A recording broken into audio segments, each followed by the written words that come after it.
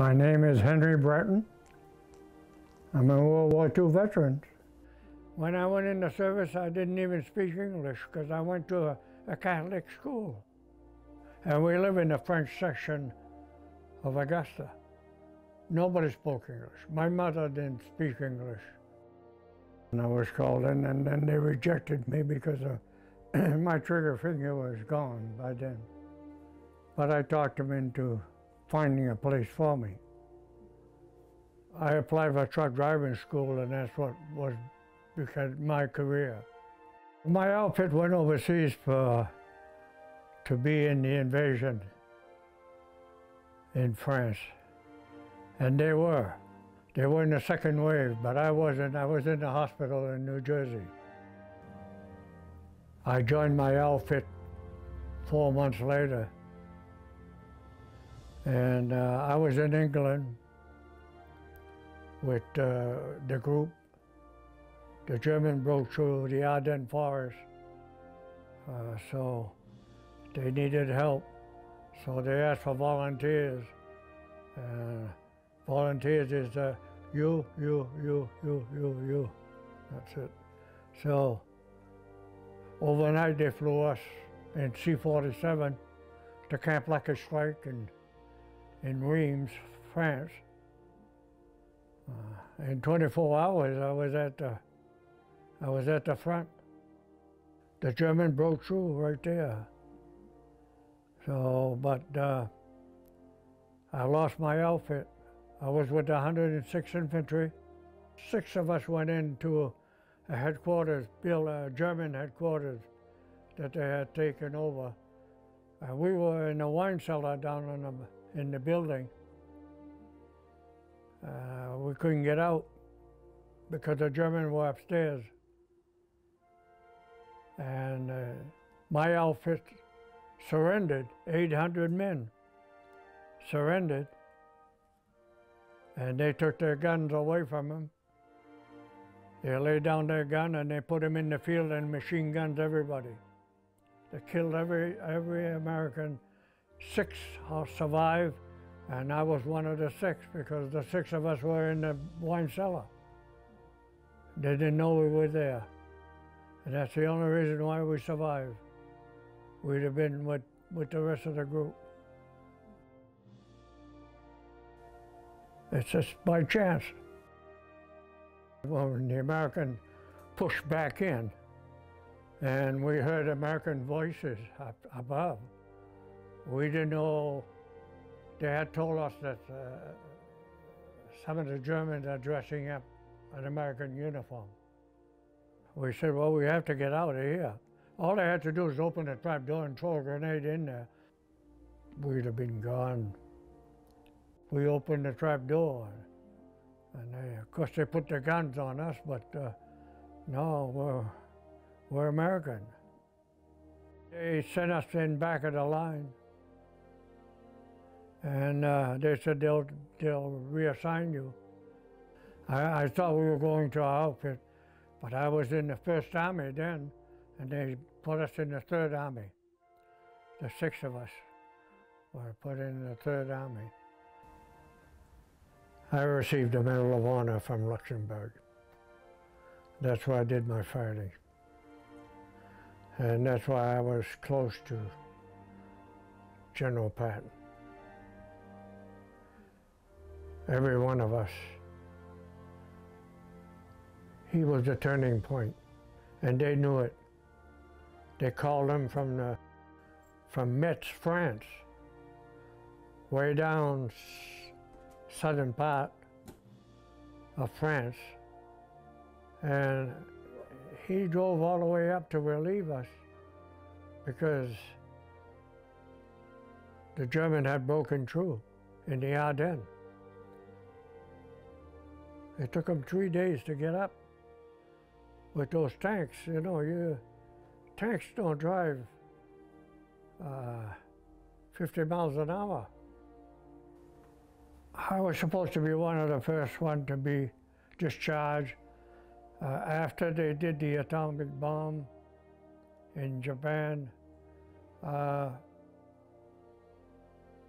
I was due to come home in, I think it was about uh, October or November. The war was over. So I was ready to come home. But then I wanted to get married. I had found a woman over there and I wanted to get married. So we applied for a permit. And they said, well, you're going home. You can go home and then you can come back on your own. I said, no, I'm already here. I'm not going to go home and then come back. I says, what can I do? They said, well, you can sign up for three months at a time so you can stay here. So I was driving for a captain then of a PTT building, which is Postal Telegraph and Telephone. If you want to marry a foreign girl, a European girl, you have to have permission from their parents, from the girl's parents.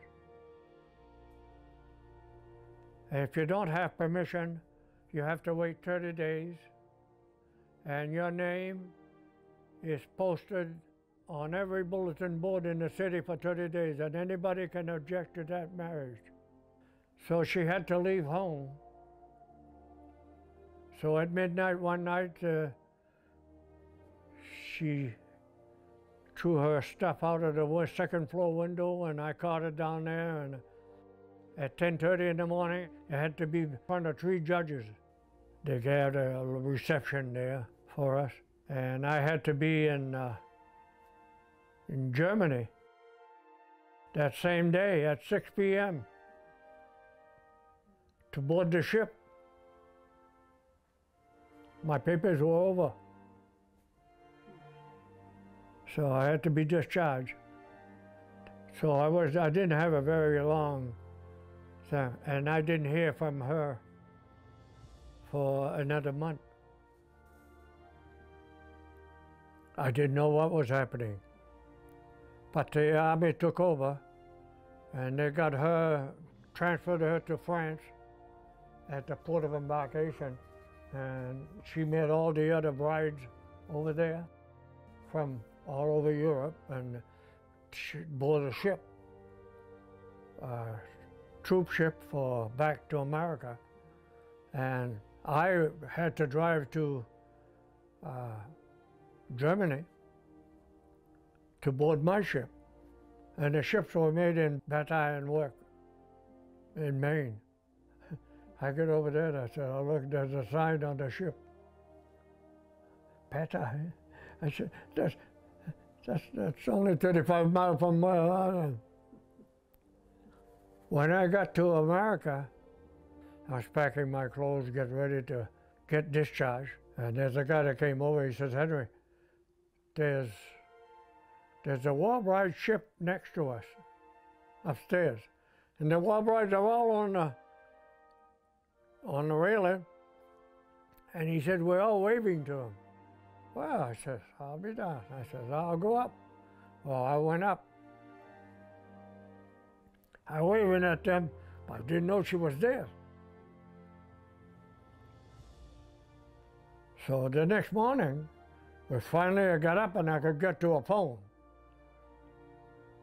I called home. They said, Your wife is arriving today. Arriving where? Here. Well, I said, I'll be darned. She must have been on that ship. When I went back years later, and they took me to the Siegfried line at the Four Corner where I got separated, and I broke down there, but that was the only time. Because it came back to me all of a sudden, uh, and uh, I freaked out.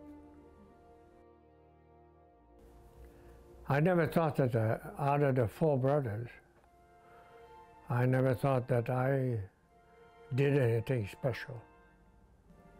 My oldest brother was in the invasion of North Africa in Kasserine Pass.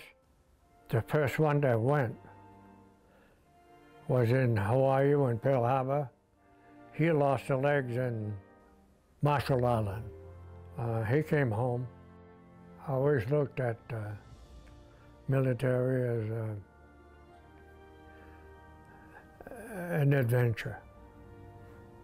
I think I learned how to live. I learned to appreciate life. I learned to respect other people's life.